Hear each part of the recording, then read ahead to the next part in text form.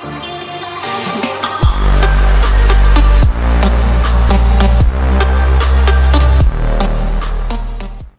going on guys, Scenario Steve here with a new week of the WSS and today we're here for a team builder and a replay um like how we did the last time. Uh currently with the time crunch that I have been in and with the new setup that I've been trying to do.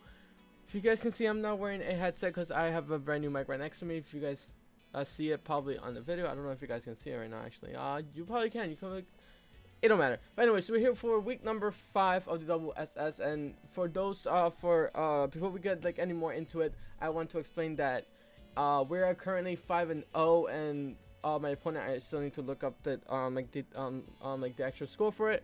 Uh, but because uh one of the coaches he couldn't he didn't have time to be part of the league anymore, so everybody in the league got a free win. That's the short part of of the whole um me trying to explain everything. Um let me try to it with the layout on. Anyways um so we did get a free win which means for week number six we don't have a match because that's who we were supposed to face for week number six and they're no longer in the um like in the actual uh league anymore. So with that uh we're here for week number five and with the week extension did not help out my time crunch that I was in and we ended up uh, facing the Gyarados, if I recall correctly. Trying to remember. Yeah, the the Monterrey Gyarados, uh, coached by Mora, uh, or Morax. Um, honestly, really really hard matchup. Um, his team uh, paired up really really well against me, and I honestly could not do half the time. I couldn't do anything. Um, hopefully this doesn't bring up my Twitter. Okay. Um, I couldn't do anything against him. Um, a lot of times I was looking at his team and was like, I how how am I supposed to break through these walls? Um, so for his team he had uh Victini, Zygarde, uh Scolipede, that's the Z captain, uh the Togekiss, Dhelmise, Hawlucha, Vaporeon, Mega Aggron, Exploud, Rhydon, and Rotom. Currently he is actually let me see, he's right now two and two and two, so right now he has actually three and two because of the free win. Um and we are sitting at 5 and 0, being the first in the league um with a differential of of 16 and the one right behind me is a 4 and 1 with it with a differential of um uh 15. So the person in second place must have done a lot better than I have. I have done a lot more closer matches, but we uh but we we do pull up the win in a lot of them. So hopefully um, we make some adjustments to our team. Uh, we might do a couple um, a couple trades in the next few days. Um, well in this week uh, coming up um, since I think week 7 is the very last week that we can do trades we might um, scout out what we need and what we don't need anymore in the team. But on that we're just gonna hop on right into the into the team prep. I am trying out two different ways of doing this recordings. Um, I am recording on OBS as well as as a free recording on my software. So this is very unprofessional kind of way of me saying this stuff. Anyways, so we have up first uh Baby Thor the the Thundurus, which is the only thing that can break through his entire team. Um with with a life orb it does uh one hit kill a lot of stuff it does uh do a lot of uh, damage to the whole um like other half the biggest threat to this to this is e speed from a Zygarde um, which a, a plus one does over half. Um, and we just have to be careful on how we use the Thundurus. Hold um, he's holding the, the life orb, having the the volt switch, uh, thunderbolt, dark pulse, and ice, and the HP ice. Uh, the last two moves uh, covers pretty much the rest of his team. The Dark Pulse is uh, majorly for the Dhelmise and the Victini, and the um, did uh, uh, uh, the only reason why I say for the Victini is because um in case I'm not able to go for a Thunderbolt just in case of a switch um into like a Zygarde or a Rhydon um I'm able to hit them for neutral damage. Um uh the HP Ice is to hit the Rhydon and the Dhelmise and the Zygarde the Zygarde dies to the HP Ice pretty much every single time even in a except for the, the AV set, but then he won't be able to run um, any coil set, any subset, which is more common either way. Um, it does hit everything else re relatively hard except for the Aggron, um, and the Vaporeon dies to an old and the majority of his team does not want to take a T-bolt or a or a or a volt switch. Um, next up is going to be our uh, Ghost Rider for the second week that he comes in. Um, pretty much just a wall breaker here. Um, having the the Flare uh, the the the Shadow Bone EQ and knockoff. A Flare does a lot to a, a Vaporeon either way, even if it's a a max defense. Um, and the and the the Shadow Bone is just for stab. The EQ is just to hit um the Rhydon and the Aggrons. And a I think they resist the Shadow Bone. I don't really call if I don't I don't know. I'm bad at Pokemon. And the and the and the knockoff is just for to get rid of an item, but that's for the, the that's for the the Dhelmise either way. Next we have uh, Hipster the Uxie. Um, I think this set was a really mistake to bring. Um, the the Giga Drain was for the right uh was for the Rhydon the knockoff is uh and the normal three moves the the stealth rock the knockoff and the U-turn are pretty much normal. The rock helmet there is to do a little bit of the of like a little bit of damage to the Victini that with the stealth rocks, the Victini is such a hard thing to uh, kind of like counteract that I'm very afraid of. I had nothing that can take a V create. Absolutely nothing that can take a, a um a V create from that thing.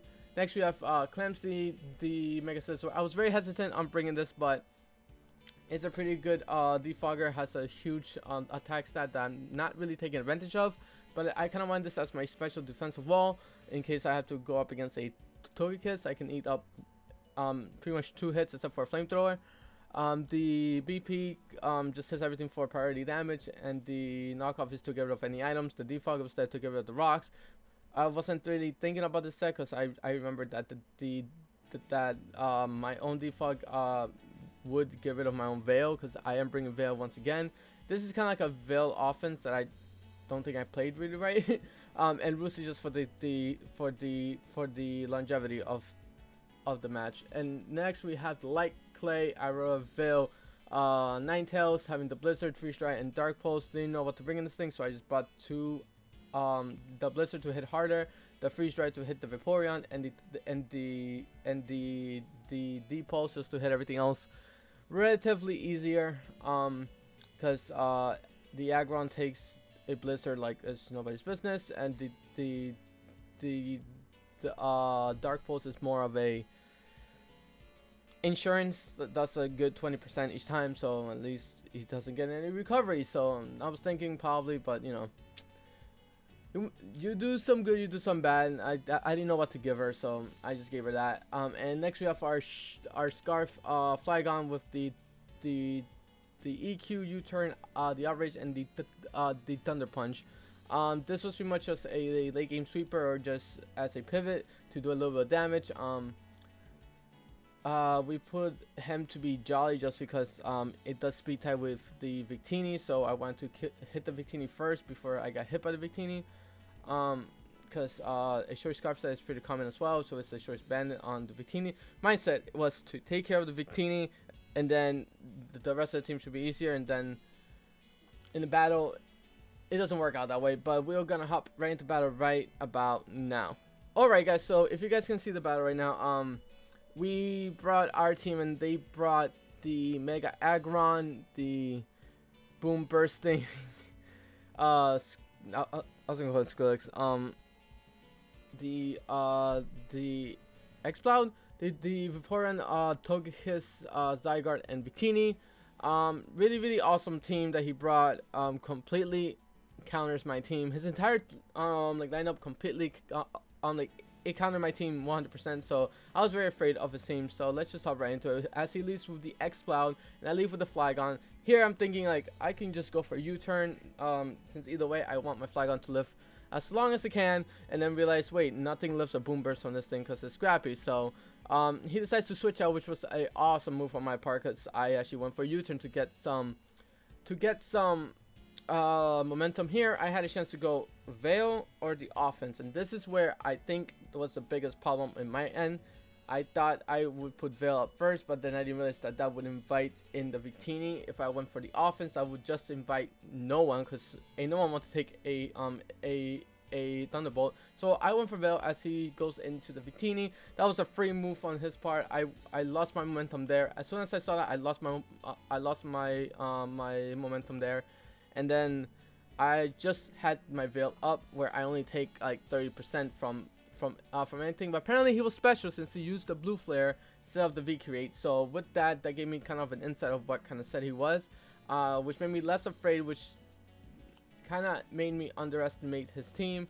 But as he gets hit by the hail and I get hit by the hail, which I need to figure out why I keep doing that to myself, because hail is no longer Hail is amazing if I don't use it against myself. Um, but he goes, he does go for the U-turn, which was super effective, of course. Um, does only like um, like 7% just because of the of the veil.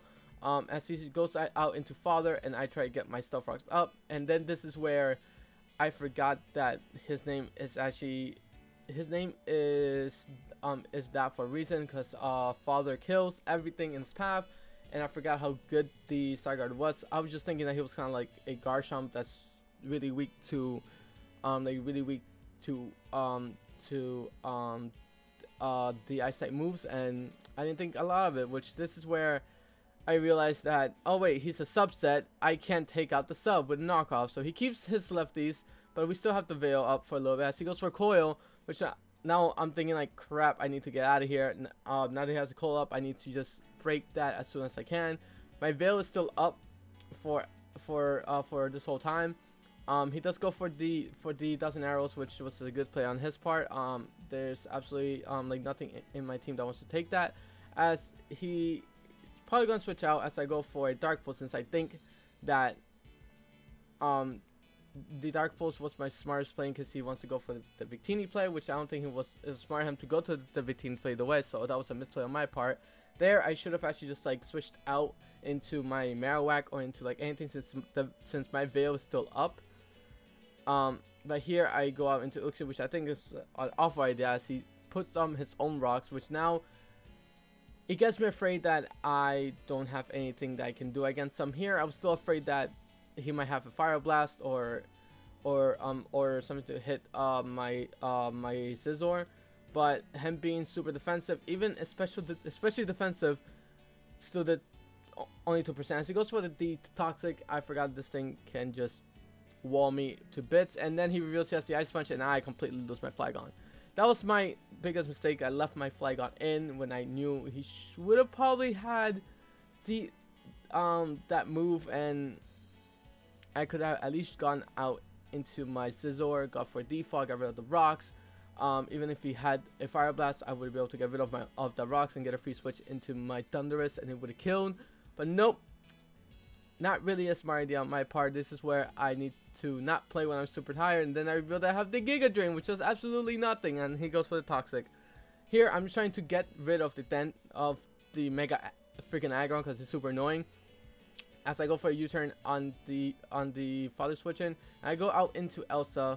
Um, hear me thinking that I could put my Veil back up and then completely forgot. And then I tried to make a double into the into the Scizor, which was a good play on my end but doesn't really give me much longevity on on my Ninetales since I have no way to give out the rocks. Um, here I think he gets a free sub up since I go for...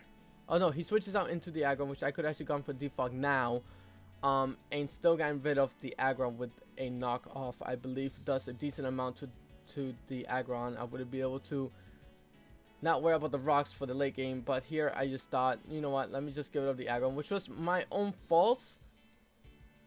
And I think this was where the match was pretty much over because I got rid of my own rock because I still had my rocks up. It did it did mean that the Victini was a free switching, but I had ways to I had some I had ways to sack off things, so I needed to play it right and I didn't. So that gave him a free double out. This whole double as well was a great play on his end because I was really afraid of, of, the Victini. So I so it made me switch into my Uxie like how I did before. And that just gave him a free sub up as well. So not really happy about that. Um not happy about that at all as he goes for the substitute and I can't break that no matter what. So I go out into clams to try to break the sub. Um, he, I think he, in this part he does go for the coil Coil is super annoying to deal with, but I go for the roost just to make my longevity a little bit longer and then I realized that that was a really bad mistake on my end because the BP would have just gotten rid of the coil as um of the sub while he while he has the coil up so I can gone for a knockoff while he doesn't have the sub and he he just gonna spam the um like the the the, the, the um the Thousand Arrows just to kill my um like my Scizor I tried to put up the hill just to um like let this thing die a slow and slower, but then realized, wait, he has the leftover, so it doesn't matter. And then he East beats at plus one, does over half, and that's super annoying. Then I go for the HP Ice with the Life Orb, does bring me down to 3%. And then the Togekiss, which is threaded in my channel. I hate this mon so much because he has the Walk On Berry, which gives him a free Nasty Plot up, and that is where everything just dies off. I'm just like, you know what, sack this off, sack this off. Um, it, it's pretty much game, but it did it was a horrible matchup in the end. Um, the I I should have seen that Barry coming, but unfortunately enough, we did get um uh the, the very first loss, and he even said that um that that that that that his whole team pretty much um it did match up pretty well against me where his only that my only threat on his um like for him was my Thundurus so that kind of made me look like hmm okay so this was a losing battle to begin with, so that's why he was um, like very confident to bring in that kind of team. Um, I was thinking he was gonna bring the Rhydon. I don't know why. Um, the Rhydon is just a really good play on his part if he brought it. Um, but hopefully we get to see him in the playoffs. Um, if we do, then that'd be awesome. Um, he's doing really well right now. So he's, he's right now three and uh, four and two, and I'm right now five and one. So we're still up there. We're still up in the first or second slot. So we're still in the leading boards. Um, it all depends on how the other people do. But on that, we're gonna get the heck out of here, guys. I hope you guys have have a fantastic day. Stay nerdy, stay awesome, and I will catch you guys in the next in week number seven. So we do have a, a bye week um uh coming up because we don't have to face anyone, which means I have a chance to think about what I'm going to bring. Um, or what I'm going to trade over. We might have a trade, we might not. I will let you guys know in another video. But on that, we're gonna get the heck out of here, guys. Have yourself a fantastic day once again, and and I will see you guys in week uh, number seven for the WSS. Bye.